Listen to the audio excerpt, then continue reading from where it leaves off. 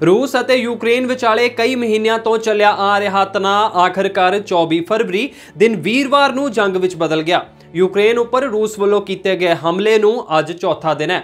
ਗੋਲੀਬਾਰੀ ਅਜੇ ਵੀ ਲਗਾਤਾਰ ਜਾਰੀ ਹੈ ਅਤੇ ਰੂਸ ਨੇ ਯੂਕਰੇਨ ਦੇ ਦੋ ਹੋਰ ਵੱਡੇ ਸ਼ਹਿਰਾਂ ਉੱਪਰ ਕਬਜ਼ਾ ਕਰਨ ਦਾ ਦਾਅਵਾ ਕੀਤਾ ਹੈ। ਜਿੱਥੇ ਰੂਸੀ ਫੌਜ ਨੇ ਇਹ ਦਾਅਵਾ ਕੀਤਾ ਹੈ ਕਿ ਉਸਨੇ ਯੂਕਰੇਨ ਦੇ ਵੱਡੇ ਸ਼ਹਿਰ ਖਵੀਕ ਤੇ ਕਬਜ਼ਾ ਕਰ ਲਿਆ ਉੱਥੇ ਹੀ ਯੂਕਰੇਨ ਦੇ ਰਾਸ਼ਟਰਪਤੀ ਵੋਲੋਦੋਮੀਰ ਜ਼ੈਲੈਂਸਕੀ ਨੇ ਇਹ ਵੱਡਾ ਬਿਆਨ ਦਿੱਤਾ ਹੈ ਕਿ ਰੂਸ ਨੂੰ ਯੂਕਰੇਨ ਉੱਪਰ ਹਮਲਾ ਕਰਨ ਕਰਕੇ ਸੰਯੁਕਤ ਰਾਸ਼ਟਰ ਸੁਰੱਖਿਆ ਪਰਿਸ਼ਦ ਵਿੱਚੋਂ ਬਾਹਰ ਕਰ ਦੇਣਾ ਚਾਹੀਦਾ ਹੈ। ਐਤਵਾਰ ਨੂੰ ਜਾਰੀ ਕੀਤੇ ਗਏ ਆਪਣੇ ਇੱਕ ਵੀਡੀਓ ਸੰਦੇਸ਼ ਵਿੱਚ ਜ਼ੈਲੈਂਸਕੀ ਨੇ ਆਖਿਆ ਕਿ ਰੂਸ ਨੇ ਬੁਰਾਈ ਦਾ ਰਾਹ ਚੁਣਿਆ ਅਤੇ ਰੂਸ ਵੱਲੋਂ ਯੂਕਰੇਨ ਉੱਪਰ ਕੀਤਾ ਗਿਆ ਹਮਲਾ ਨਸਲਕੁਸ਼ੀ ਵੱਲ ਇੱਕ ਕਦਮ ਹੈ।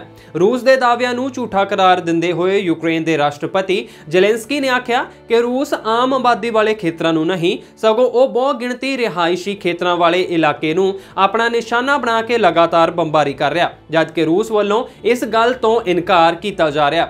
ਤਾਜ਼ਾ ਜਾਣਕਾਰੀ ਮੁਤਾਬਕ, ਜਿੱਥੇ 2 ਲੱਖ ਤੋਂ ਵੱਧ ਯੂਕਰੇਨ ਨਿਵਾਸੀ ਇਸ ਯੁੱਧ ਕਾਰਨ ਦੇਸ਼ ਛੱਡ ਚੁੱਕੇ ਹਨ। ਉੱਥੇ ਹੀ ਯੂਕਰੇਨ ਦੇ ਸਾਬਕਾ ਟੈਨਿਸ ਖਿਡਾਰੀ ਸਰਜੀ ਸਟਾਖੋਵਸਕੀ ਸਮੇਤ ਕਈ ਹਜ਼ਾਰਾਂ ਨਾਗਰਿਕ ਫੌਜ ਵਿੱਚ ਸ਼ਾਮਲ ਹੋ ਗਏ ਹਨ। ਯੂਕਰੇਨ ਦੇ ਰਾਸ਼ਟਰਪਤੀ ਵਲੋਦੋਮੀਰ ਜ਼ੈਲੈਂਸਕੀ ਨੇ ਬੈਲਾਰੂਸ ਵਿੱਚ ਰੂਸ ਨਾਲ ਗੱਲਬਾਤ ਕਰਨ ਤੋਂ ਇਨਕਾਰ ਕਰ ਦਿੱਤਾ। ਉਧਰ ਅਮਰੀਕੀ ਰਾਸ਼ਟਰਪਤੀ ਜੋ ਬਾਈਡਨ ਨੇ ਆਖਿਆ ਕਿ ਰੂਸ ਦੀ ਇਸ ਹਰਕਤ ਦਾ ਜਵਾਬ ਸਿਰਫ ਦੋ ਤਰੀਕਿਆਂ ਨਾਲ ਹੀ ਦਿੱਤਾ ਜਾ ਸਕਦਾ ਹੈ, ਜਿਨ੍ਹਾਂ ਵਿੱਚੋਂ ਪਹਿਲਾ ਤਰੀਕਾ ਤੀਜਾ ਵਿਸ਼ਵ ਯੁੱਧ ਹੈ ਅਤੇ ਦੂਸਰਾ ਤਰੀਕਾ ਆਰਥਿਕ ਬੈਨ ਲਗਾ ਕੇ।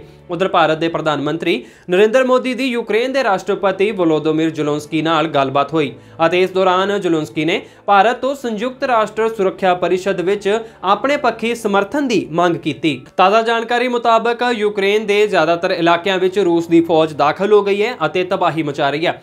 ਰੂਸ ਦੀ ਫੌਜ ਨੇ ਯੂਕਰੇਨ ਦੇ ਦੂਜੇ ਸਭ ਤੋਂ ਵੱਡੇ ਸ਼ਹਿਰ ਖਵੀਕ ਵਿੱਚ ਇੱਕ ਗੈਸ ਦੀ ਪਾਈਪਲਾਈਨ ਉਡਾ ਦਿੱਤੀ, ਜਿਸ ਨਾਲ ਚਾਰੇ ਪਾਸੇ ਜ਼ਹਿਰੀਲੀ ਹਵਾ ਫੈਲ ਗਈ ਅਤੇ ਖਵੀਕ ਵਿੱਚ ਲੋਕਾਂ ਲਈ ਸਾਹ ਲੈਣਾ ਬੇहद ਮੁਸ਼ਕਲ ਹੋ ਗਿਆ। ਉਧਰ ਇੱਕ ਰਿਪੋਰਟ ਮੁਤਾਬਕ ਸ਼ਨੀਵਾਰ ਨੂੰ ਯੂਕਰੇਨ ਦੇ ਫੌਜੀ ਕਰਮਚਾਰੀਆਂ ਵੱਲੋਂ ਕਈ ਥਾਵਾਂ ਤੋਂ ਸਾਈਨ ਬੋਰਡ ਹਟਾ ਲਏ ਗਏ।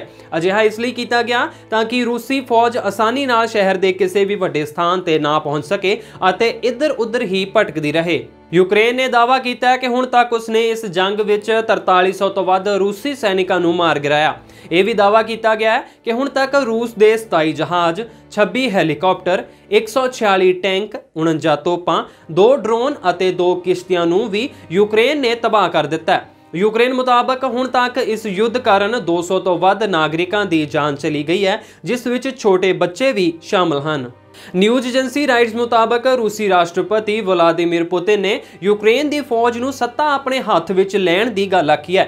ਉਧਰ ਯੂਕਰੇਨ ਤੇ ਰੂਸੀ ਹਮਲੇ ਖਿਲਾਫ ਅਮਰੀਕਾ ਅਤੇ ਉਸ ਦੇ ਸਹਿਯੋਗੀ ਦੇਸ਼ਾਂ ਨੇ ਪਾਬੰਦੀਸ਼ੁਦਾ ਰੂਸੀ ਬੈਂਕਾਂ ਨੂੰ ਗਲੋਬਲ ਵਿੱਤੀ ਭੁਗਤਾਨ ਪ੍ਰਣਾਲੀ ਸਵਿਫਟ ਤੋਂ ਵੱਖ ਕਰਨ ਅਤੇ ਰੂਸੀ ਕੇਂਦਰੀ ਬੈਂਕ ਉੱਪਰ ਪਾਬੰਦੀਆਂ ਲਗਾਉਣ ਦਾ ਫੈਸਲਾ ਕੀਤਾ ਇਸ ਦੇ ਨਾਲ ਹੀ ਪਾਬੰਦੀਸ਼ੁਦਾ ਰੂਸੀ ਕੰਪਨੀਆਂ ਅਤੇ ਕੁਲੀਨ ਵਰਗ ਦੀਆਂ ਜਾਇਦਾਦਾਂ ਦਾ ਪਤਾ ਲਗਾਉਣ ਅਤੇ ਉਹਨਾਂ ਉੱਪਰ ਕਾਰਵਾਈ ਕਰਨ ਦੇ ਲਈ ਲਈ ਇੱਕ ਸੰਯੁਕਤ ਟਾਸਕ ਫੋਰਸ ਦਾ ਗਠਨ ਕੀਤਾ ਗਿਆ, ਜਿਸ ਨਾਲ ਰੂਸ ਨੂੰ ਭਾਰੀ ਆਰਥਿਕ ਨੁਕਸਾਨ ਹੋਣ ਦੀ ਆਸ਼ੰਕਾ ਹੈ। ਜੇਕਰ ਅੰਕੜਿਆਂ ਵਿੱਚ ਗੱਲ ਕੀਤੀ ਜਾਵੇ ਤਾਂ ਇਸ ਯੁੱਧ ਦੇ ਕਾਰਨ ਹੁਣ ਤੱਕ ਕਈ ਮਿਲੀਅਨ ਡਾਲਰ ਦਾ ਨੁਕਸਾਨ ਹੋ ਚੁੱਕਾ ਹੈ, ਜਿਸ ਵਿੱਚ ਸਭ ਤੋਂ ਵੱਧ ਨੁਕਸਾਨ ਸ਼ੇਅਰ ਮਾਰਕੀਟ ਨੂੰ ਹੋਇਆ। ਫਿਲਹਾਲ ਕੁੱਲ ਨੁਕਸਾਨ ਦਾ ਅੰਦਾਜ਼ਾ ਲਗਾਉਣਾ ਬੇहद ਮੁਸ਼ਕਿਲ ਹੈ, ਕਿਉਂਕਿ ਇਹ ਨੁਕਸਾਨ ਲਗਾਤਾਰ ਵਧਦਾ ਹੀ ਜਾ ਰਿਹਾ ਹੈ। ਜੇਕਰ ਇਹ ਨੁਕਸਾਨ ਇਸੇ ਤਰੀਕੇ ਨਾਲ ਵਧਦਾ ਰਿਹਾ, ਤਾਂ ਆਉਣ ਵਾਲੇ ਸਮੇਂ ਵਿੱਚ ਪੂਰੇ ਵਿਸ਼ਵ ਨੂੰ ਆਰਥਿਕ ਮੰਦਹਾਲੀ ਦੇ ਦੌਰ ਵਿੱਚੋਂ ਗੁਜ਼ਰਨਾ ਪਵੇਗਾ, ਜਿਸ ਕਾਰਨ ਭੁੱਖਮਰੀ ਆਪਣੇ ਸਿਖਰ ਤੇ ਪਹੁੰਚ ਜਾਵੇਗੀ।